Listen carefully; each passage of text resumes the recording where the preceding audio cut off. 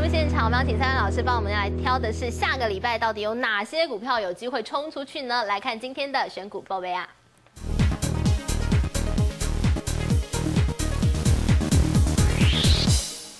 好，我们要先请陈英老师哦，带我们来看看哦，这个刚刚就讲了你的最爱联强来了，是，其实我们这个时候我们在看未来的潜力股，就十二月份有机会表现的话，哈，一个的话它最好要有集团的色彩，嗯。嗯，因为我们讲说集团容易做账嘛，再下来的话，明年的获利要不错，嗯。嗯，那么接着的话，如果说哎。搞不好还有一个意外的爆发力，这就会更好了哈。那像联强呢哈，就有这样的机会。今年的话呢，哈，第三季它的获利是优于预期，这第一个。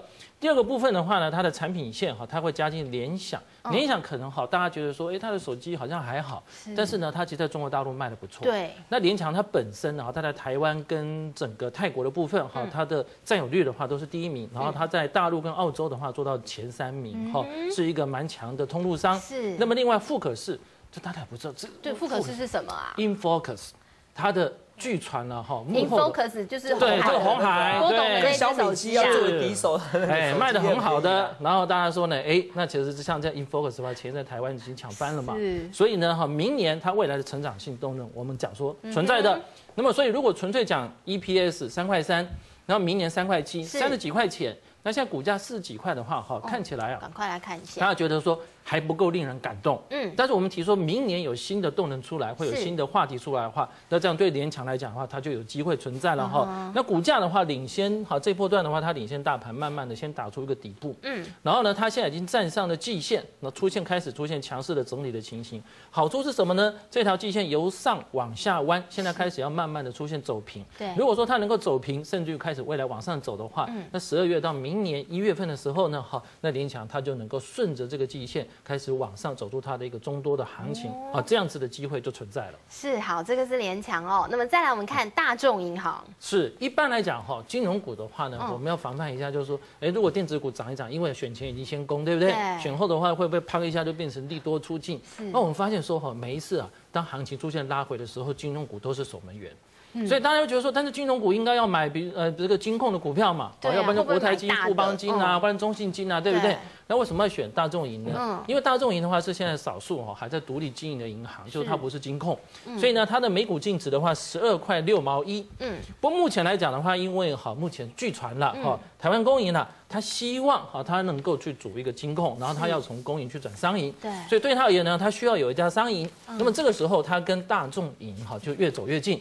大众银的大股东呢哈是私募基金叫凯雷，是。凯雷它本来就有有点想要获利了结了，嗯。但是价格的话呢哈瞧不拢。是。那么据说现在的话是开始越瞧越拢，是。哎，那如果越瞧越拢的话呢，哈，名股它的名股呢，包括像高雄的陈家，嗯。哈，然后另外像光阳的科家，就光阳机车的科家呢是，哈，逢低的话都有个加码的动作。哦，所以它的筹码有开始慢慢沉淀的迹哇。象。对，所以在这波段的话，其实大众营它比行情还要领先的转强。对，那么从股价的话越垫越高，而且是把这个整个全息的话哈，把它给填起来了。这个地方对，填起来之后，目前正在消化它的一个卖压哈是。不过我们发现说，哎，它在做填权的时候，哈，它这个地方的量，并没有突破这里的量。是这边的量换言之，在选在它除权前的话呢，嗯它所爆出的成交量，在这里的话，用时间还有空间化解，而且我们嗯刚刚提到说呢，好，名股逢低有在布局，换言之，它只出不进，是所以它的筹码是出现比较集中的情形嗯。那未来呢，在挑战新高的话，就不一定要报跟以前一样的大量的，有机会震荡区间。为什么呢？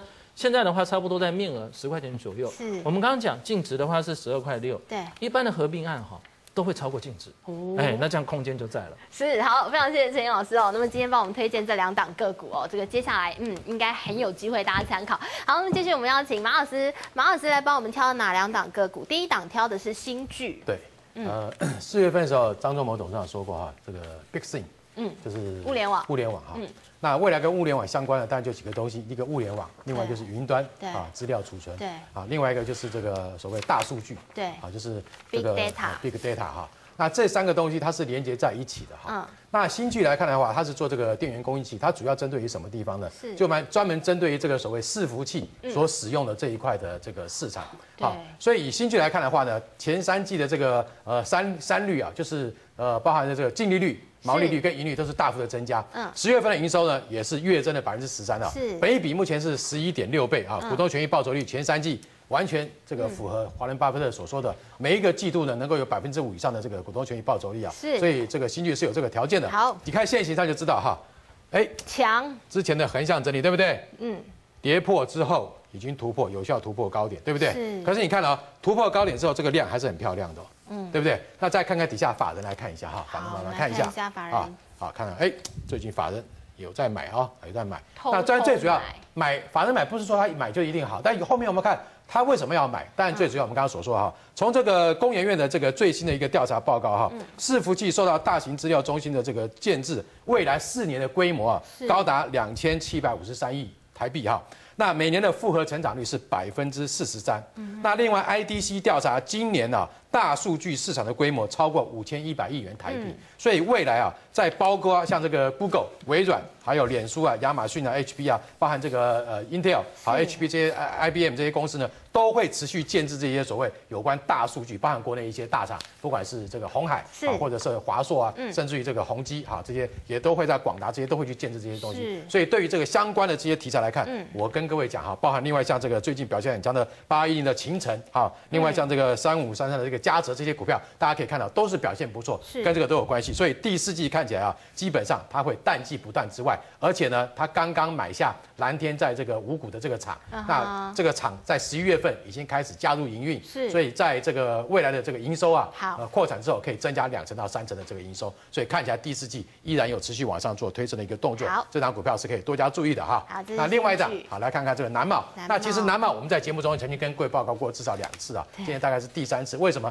这档股票之之前呢，因为它的走势稍微比较温吞，嗯，但你可以看到它是在跟四 K、二 K 的这个所谓逻逻辑 IC 这些测试 IC 里面嗯都是有相关，所以可以看到像今年这个奇邦啊，之前我们跟各位报告是，股价为什么那么强，就是因为受惠在四 K、二 K 这一块地方包含什么？包含包含这个三零三四这个联咏。啊，看到股价会创新高，为什么？跟这个四 K、二 K 的电视都是有直接的关联性。嗯那相对来看哈，奇邦在这一块啊，虽然它不是它最大宗，但是在未来哈，大家讲的这个呃，它的这个它它是代代购这个美光的，对啊，它是美光的这大代工厂，嗯包含未来这个这个飞索的这个 No Flash 这一块哈，还有包含像华邦电啊、啊嗯南亚科这些的这个呃在测试的地方，都是在。这个呃是南茂在南夸这一块的订单所以基本上可以看到它的这个呃前三季的获利啊，第三季的获利呢，已经创下这个所谓七年来的一个新高、嗯啊。可是你看股价，麻烦图缩小哈，啊图缩小，因为它上市时间不久，可是你看到没有，距离高点的地方，哎，还有一段距离。可是你看现行的架构，哎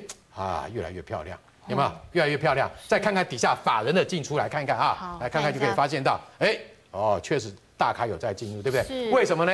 因为注意到它第四季，嗯。嗯，看起来会比第三季还要好。哦。啊，所以来看，像我们刚刚所说的是，目前来看，股东权益报酬率呢，好，这个地方跟各位报告一下哈，呃，来到了十四点六八，是。本益比呢是十一点七倍而已，11.7所以对倍。都可以看到是相当属于偏低的一个价价格，所以我刚刚说过，在第一季行情要来临情况之下，大家看到没有？这些法人啊，事实上都没有做出脱的，还在做一路的买进，嗯。所以投资朋友们注意，逢回时候都是一个好的买进时机。是好，非常谢谢这个我们的马老师帮我们挑到的这两档，一个是新剧，一个是南茂，大家做参考。好，接着我们请小郭老师来帮我们挑股票，来看小郭老师要挑标股喽，对一个是往上标，一个是往下标。对不对？这样子才会中嘛，对不对？对对对每次都讲分散风险嘛，对不对分散对？风险的多空来多的多的，大家不要弄错，先讲多的哦，。红杰科其实在这边原因的是因为大家都知道，因为 Skyworks 的关系，那嗯生化家的关系，那渐渐打入一个苹果的一个供应链。那我们其实看到第三季的 EPS，实际上我们来看下股价，直接来看股价知道，十月营收直接创历史新高。嗯，那其实就这边股价来看的话，其实第三季 EPS 零点八八元。嗯，哦，那我们有零点零八八，如果乘以四的话，差不多三点五，三点五哈。那其实在这边的话，那本益比还很低耶不。错啊，蛮低的、哦。如果哦用第三季的 EPS 来看的话，如果第四季，我觉得它可能会，说不定应该有机会比第三季来的高啊。所以整个股价来看的话，其实它还蛮漂亮。而且你看啊、在这边它其实这边股价陆陆续续创新高，可是它的成交量并没有一一直爆量。如果就我们开始的技术线型跟金像店比的话，同样创新高，我觉得红杰科的技术线型，尤其这个量价关系更好。投资表其实有时候搞清楚量价关系反而更清楚，所以你会发现到红杰科。所以你说它股价在创高，量是缩下来。对，至少比这边起涨量感觉比较缩，所以代表它筹码蛮稳定的。他虽然他被被人家比较为人诟病的是说他涨得比较慢，嗯可是问题是他其实他毕竟他的财报缴的比预期好太多，那其实很多人都觉得它营营收创新高，其实法人本来就知道，可是第三季财报缴出超乎预期的一个好的情况之下，我觉得它现在的走势哦，其实是有机会啊，投资票你要搞清楚哦。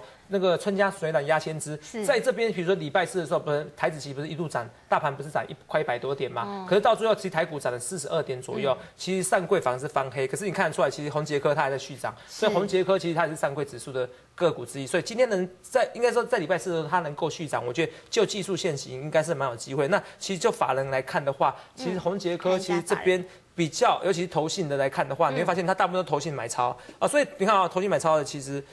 买超的一个相对来说，他是突然间开始买哦，对，所以你会发现到投信投信成本跟你差不多的情况下，而且很少投信买这么多。呃，如果我没有记错的话，哈，突然想到，我记得红杰科一开始的时候，投信你不要觉得投投信在买，可能买几千张买算很多。如果它上市，如果那个其实时间拉长一点，对对对，的打字的妹妹哈，漂亮妹妹，如果。知道的话，你看到它其实一开始投信买超是一直持续买，如果我记得没有错，它是如果我没有记错，他那时候几乎连续买超半个月、一个月之久，所以你会发现到其实整个红杰科，它投信一开始买，它就会很持续的买，所以我觉得它还是有持续买盘的一个一个高点在，而尤其呀，尤其如果现在的的法人成本在这边的话，我觉得你也不会担心说被法人吃豆腐。这投信都疯疯的，买一买啊，全部卖光，然后有一天就突然想到又开始冲。对，而且你看啊，它这次高点。比更高，它是，可是它很少在高点的时候还愿意续追，就就今年投信的操盘的手法跟去年不太一样，他们现在反而不太敢追高。可是你看啊，其实现在的而言的话，这个红杰克他宁愿去追高的股价，那这是红杰克，那在这边有多有空嘛？我觉得在这边其实是牛熊市一个并存来，嗯，小型个股有些还是很弱势，还是看个股表现，看比如说瓶盖跟非瓶盖。那美绿就是一样，其实在这边扬声器的一个题材陆续发酵完毕啊，那看上。股价好像面临一个修正的风险，为什么这样讲？其实你看啊，这个就像我们刚才讲的，就是同样一句话，谁在谁裸泳？那他没穿裤，我看起来好像没有没有，连肤色的都没穿对，看起来好像没有，因为其实就现行来讲的话，台股现在上到九千一，要站九千二的一个过程中，他看得出来，他其实他这边还是。没有一个强势反弹，我觉得在这边技术至少要站上季线，在这边哦，一百三十元这附近，所以看得出来股价其实还是有点落后啦。那我觉得投资者你也不用在这边一定要追空，如果它现增加一百块破的话，再去追空，我觉得更更是有一个获利的空间啊。所以我这就这边。这边多头、空头的股票都可以做。那他业绩真的是很差吗？真的没穿裤子我只能讲公司的能见度，他说他看不到一个月后的裤子，能见度只有一订单，只有一个月而已。哦，我跟大家讲，看不到一个月后的裤子，还是库存啊？库存。好，双关语啊，双关语啊。